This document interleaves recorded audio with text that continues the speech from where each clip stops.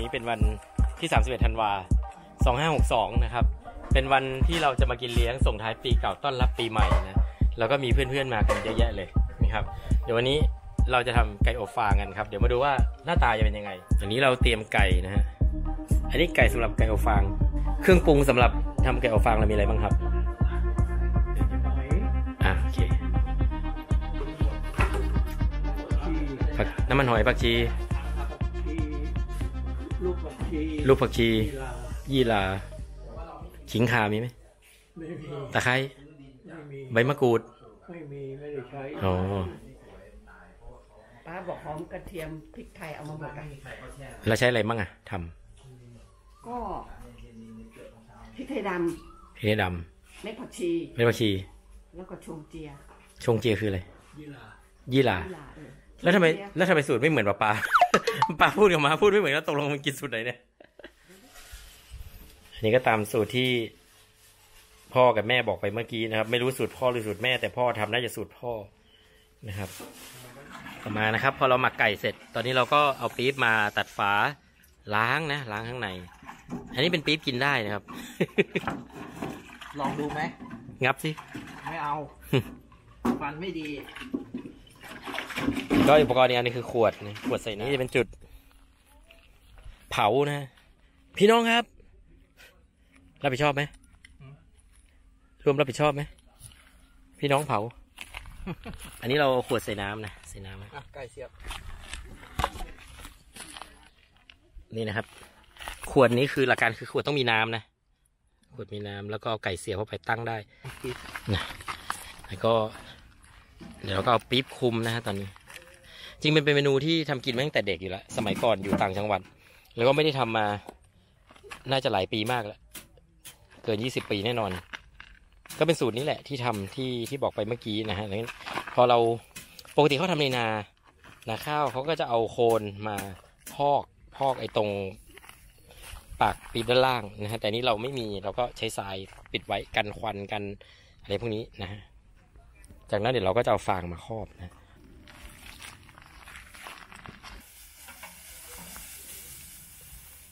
อันนี้เราต้องสุ่มเยอะแค่ไหนฮะตามที่ใจชอบ อีกทีสิ ฮะ อีกทีสิ ตามที่ใจชอบเลย โอเค แล้วชอบแค่ไหนอะชอบ ชอบไม่ไหม้เกรียมๆก็เยอะหน่อย ก้อนหนึ่งนี่พอป่ะ โอ้ยก้อนหนึงก็พอพอใช่ไหม ครับ แล้วเราต้องยังไง พอจุดไฟปล่อยมันไหม้ใช่แล้วแล้วปล่อยมันอบทิ้งไว้พักหนึ่งใช่ไหมแล้วก็ใส่รอบสองเอาใส่รอบสองด้วย เผาเลยครับ เอานะรับผิดชอบตัวเองนะครับฮะเตรียมน้ำกันหรือยังเตรียมมาทำอะไรเผื่อมันล้างไม่มี พร้อมยังสภาพแวดล้อมเราโอเคอยู่ พร้อมมานะไม่ลาม อ่าพร้อม เอาเลยครับ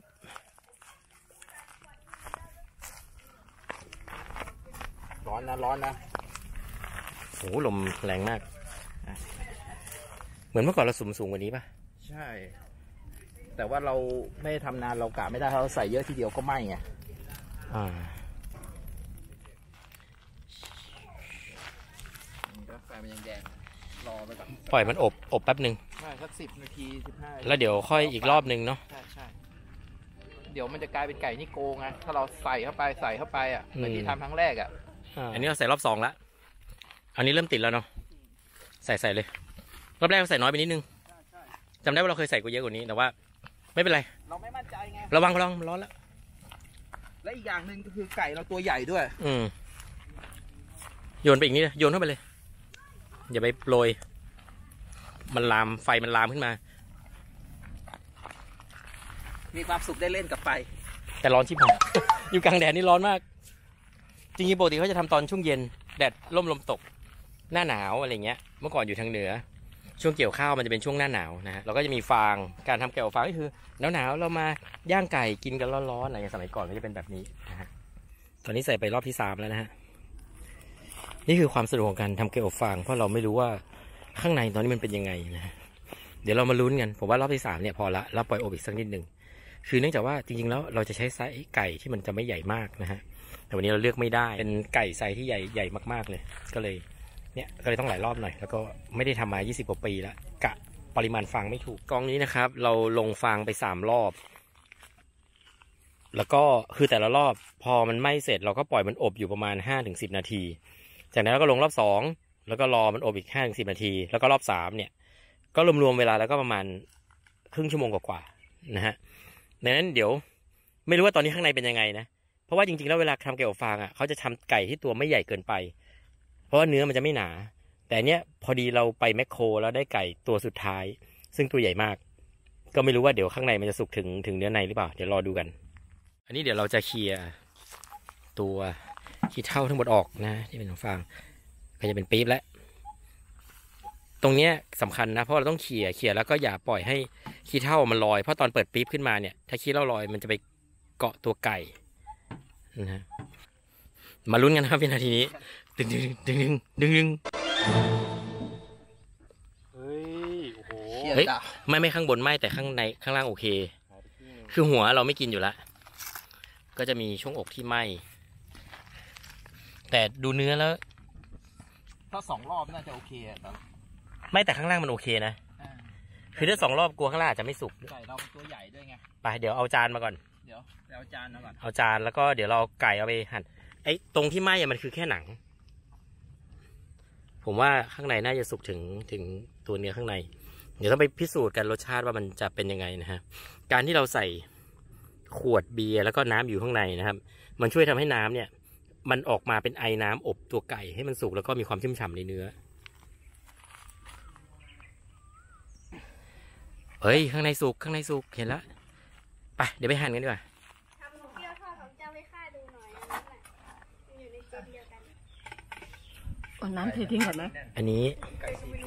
นี่นี่ได้ปีก เดี๋ยวชิมปีกก่อน มันมีส่วนไหมอะเรากินส่วนไม่ไหมมีปกติไก่อบฟางอะหนังมันต้องกรอบๆเนี่ยอย่างเงี้ยนี่ก็กรอบนี่กรอบอันนี้ไหมไม่เนี่ใช่ยลองชิมดูกรอบมากอันนี้ไม่แล้วเราก็เฮ้ยอร่อยให้กันบอกเลยว่าอร่อยแล้วก็พอว่าถ้าทำอีกรอบหนึ่งอะอีกครั้งมันอีกครั้งหนึ่งมันจะลงตัว มันจะเริ่มรู้ว่าเออระดับไฟเท่าไหร่ แต่นี่ก็โอเคนะ โอเค เพียงแต่ว่า ข้างในมันสุกไม่ไม่ไปหน่อยเราตั้งนั้นมันใกล้ปี๊บใกล้ใกล้ผนังนะคือมันต้องให้ปี๊บมันเล็ก อ่าต้องให้ปี๊บใหญ่ไงอืม แล้วให้มันห่างเพราะว่าเราสูงทางบนเนี่ย อืม มันมันมันไฟมันอยู่ข้างบนเยอะไอ้อ่า ข้างๆมันจะไม่เคยเข้าอ๋อเพราะเราเราสุ่มไว้ข้างบนเราไม่ได้ฉะนั้นข้างฉะนั้นเราต้องให้ไก่ให้มันห่างจากจากทางบๆน อืม ใช่เพราะว่านี่มันมีขวดแล้วมันก็สูงหัวมันติดกับข้างบนปี๊บแสดงว่าจริงๆสามรอบมันโอเค ถ้าปี๊บระยะมันได้ อ่าไม่ใช่ชื่อไม่ได้หมายถึงชื่อร้าน โอเคนะอร่อยแล้วก็ไปบอลแต่ว่าหมักไม่ค่อยเนื้อ อ่ามันไม่เข้ามันก็เลยต้องแค่ไม่ถึงชั่วโมงมั้งอืมไม่ถึงชั่วโมงแต่น้ำจิ้มช่วยได้แต่อร่อยอยู่มันเป็นวิธีการไก่ก็สุกกำลังดี